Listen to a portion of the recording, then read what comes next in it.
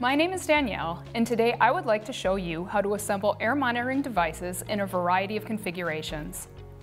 Air monitoring cassettes are used to monitor for a wide variety of contaminants and analytes, including trace metals, organic compounds, volatiles, and such particles as asbestos or silica within an environment. In this video, I will describe the difference between air monitoring cassettes containing different stages or pieces.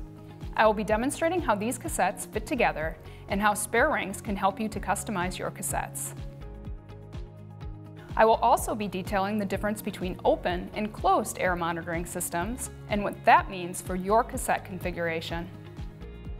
This is a two-stage cassette, a three-stage cassette, and a four-stage cassette. When purchasing a three-stage cassette, you can create a two-stage cassette by removing a ring, or build a four-stage cassette by adding a spare ring.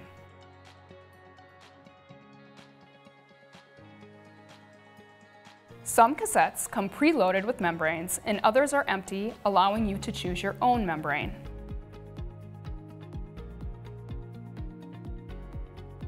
Any of the 25mm or 37mm membranes will work in these devices, but the most common and regulated methods is the 0.8 MCE membrane filter. When determining what cassette structure is required for your application, there are a number of factors to consider. Your method may specify the number of cassette pieces required for your sampling and or whether a closed or open system is necessary. A closed face system refers to a two-piece cassette, while an open system indicates a three-piece cassette. In a closed face system, the plugs are removed and air is drawn directly through the filter.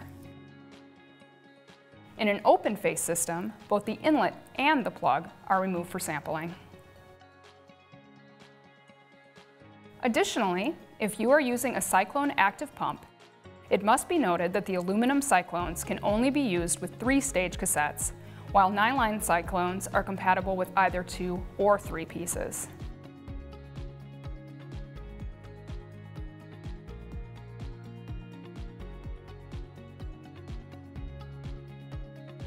I hope you found this video helpful in demonstrating the use of multi-stage cassettes and open and closed air monitoring systems.